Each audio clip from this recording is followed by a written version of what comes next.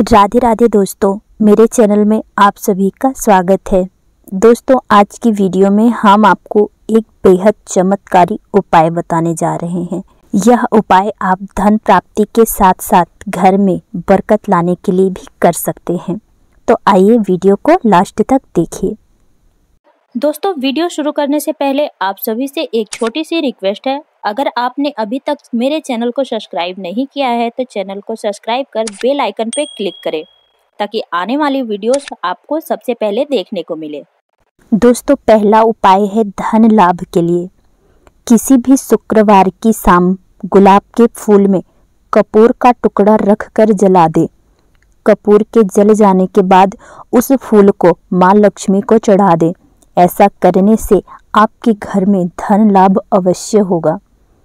दोस्तों, वहीं पर मनोकामना पूर्ति के लिए दूसरा उपाय है, किसी शुक्ल पक्ष के पहले मंगलवार के दिन हनुमान जी को 11 ताजे गुलाब के फूल अर्पित करें। ऐसा लगातार 11 मंगलवार तक करें। गुलाब के इस टोटके से बजरंग बली प्रसन्न होकर सभी मनोकामनाएँ पूरी करते हैं।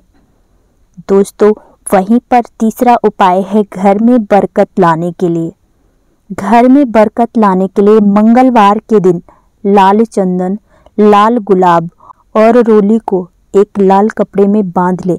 इसके बाद इसे किसी हनुमान मंदिर में एक सप्ताह के लिए किसी भी मंदिर में रख दे। इसके बाद इसे घर की तिजोरी या फिर दुकान के गले में रख दे। गुलाब के इस टोटके से घर में बरकत होगी, साथ ही पैसा बर्बाद नहीं होता है। दोस्तों, वहीं पर चौथा उपाय है रोग दूर करने के लिए। अगर घर में किसी सदस्य की सेहत में सुधार नहीं हो रहा है तो ऐसे में एक पान के पत्ते में गुलाब के फूल और बतासे रखकर रोगी के ऊपर से 11 बार उतारकर किसी चौराहे पर फेंक दे। इस टोटके से रोगी की स्थिति में सुधार होगा। दोस्तों, वहीं पर पांचवा उपाय है कर्ज से छुटकारा पाने के लिए। दोस्तों, कर्ज से छुटकारा पाने के लिए लाल रंग के पंखुड़ियों वाले पाँच गुलाब के फूल को सफ़ेद कपड़े में चारों कोने पर चार गुलाब के फूल को बाँध दे। पांचवा फूल इस कपड़े के बीच भाग में बाँध दे। इसके बाद इसकी पोटली बनाकर किसी बहती हुई नदी में प्रवाहित कर दे। दोस्तों, गुलाब के इस टोटके से जल्द ही कर्ज से छुटकारा मिल जाता है।